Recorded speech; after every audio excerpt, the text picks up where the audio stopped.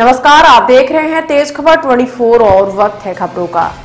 रीवा परिवहन सुरक्षा स्क्वाड प्रभारी अजय मार्को के द्वारा रीवा आरटीओ मनीष त्रिपाठी के साथ मिलकर दोपहिया वाहन चालकों के विरुद्ध चेकिंग अभियान चलाया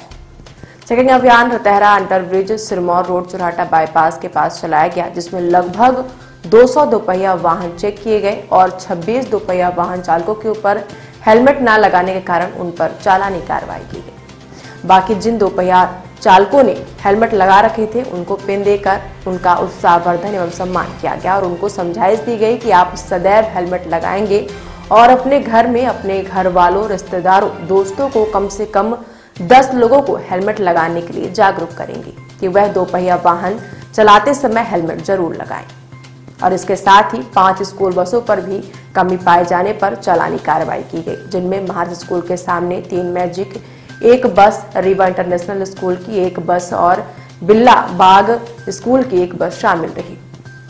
परिवहन सुरक्षा स्क्वाड के द्वारा नए बस स्टैंड पर नो पार्किंग पर खड़ी दो यात्री बसों के विरुद्ध भी चालानी कार्रवाई की गई। इसके साथ ही रीवा आरटीओ मनीष त्रिपाठी के द्वारा लोगों को यातायात नियमों का पालन करने एवं हेलमेट लगाने हेतु तो प्रेरित किया गया।